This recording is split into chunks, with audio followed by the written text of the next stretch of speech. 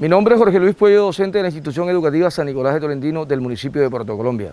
La institución educativa San Nicolás de Tolentino le agradece a la gobernadora Elsa Noguera, a todos sus funcionarios, por la gestión que se ha adelantado para que las instituciones del Departamento del Atlántico tengan todas las garantías mínimas básicas para poder iniciar todo este proceso que tiene que ver con bioseguridad, que tiene que ver con la preparación de los docentes, que tiene que ver con la planificación y todos los aspectos necesarios para darle inicio a este año 2022. Estamos listos los profesores de la institución educativa San Nicolás de Tolentino para iniciar este 2022 en la presencialidad.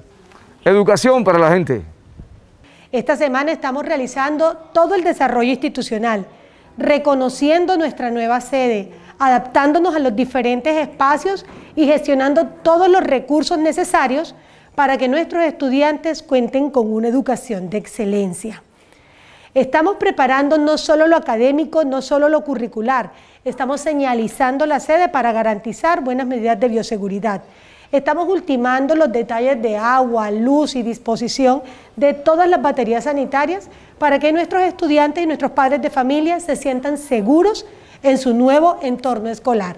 Quiero aprovechar la oportunidad para agradecer a la Secretaría de Educación y a la Gobernación del Atlántico, a la doctora Elsa Noguera, por todo el apoyo brindado para terminar la labor de infraestructura de la institución.